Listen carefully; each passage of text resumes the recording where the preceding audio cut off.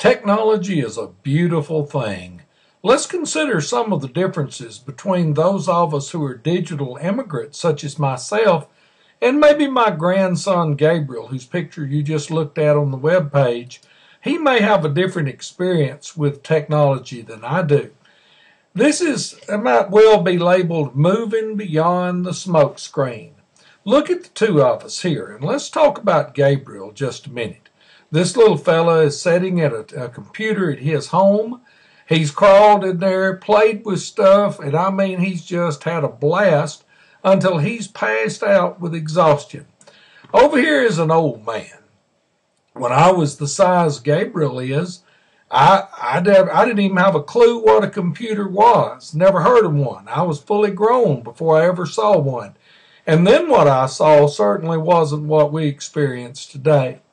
Do you think that we might be different types of learners because of the technology that we've been exposed to?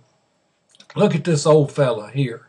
I remember the days of textbooks and slide rules, and I'm kind of an analytic learner. I, I like thinking about things, looking at stuff, uh, reading about stuff. You can talk to me, and believe it or not, in spite of what my wife says, I do hear some of the things that you say.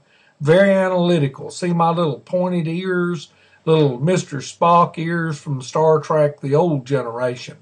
Over here, we have a young man who will spend all of his life playing and dealing and interacting with technology.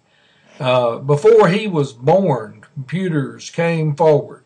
Uh, he came into a household as a little bitty boy, and oh my lands, he, he doesn't even remember when there wasn't a computer in the home. He loves coming to Papa's house. Here's old Papa, and he loves getting on Papa's computer. And he loves Papa's computer because he can play uh, games on it. He can watch YouTube music videos. He comes in my house and says, Papa, Let's play the, let's listen to the dinosaur song. And we do that. He is a different, probably going to be a very different type learner than I am. Where I'm very analytic because of uh, how I was reared. Uh, my grandson Gabriel here is very likely to be visual. He, he is going to digest vast amounts of information visually and process the, that information where uh, I, I came out of a different era and a different age. So here's an old digital immigrant. I moved into the land of digital learning.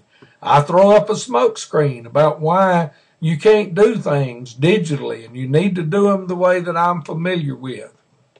Here's a young man born into the age of digital learning. He's going to be very visual. He's for him to be where there is no technology is going to be just as frightening as it was to me to come into a place where there was technology.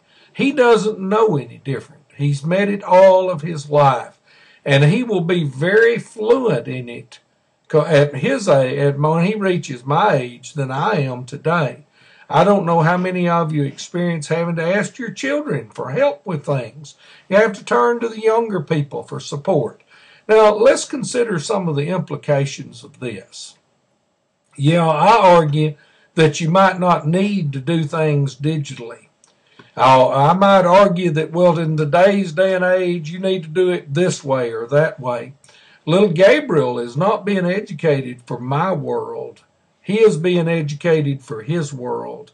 He needs to be prepared for a world which is yet to come, which is going to roar way beyond my feeble abilities to imagine. He is a digital, digital native, where I'm a digital immigrant. Now, as we move on past this to end this exciting lecture, I want you to notice the two old dogs here. Here's an old dog, here's another old dog. Both of these old dogs are digital immigrants. You can contact me by email at this address.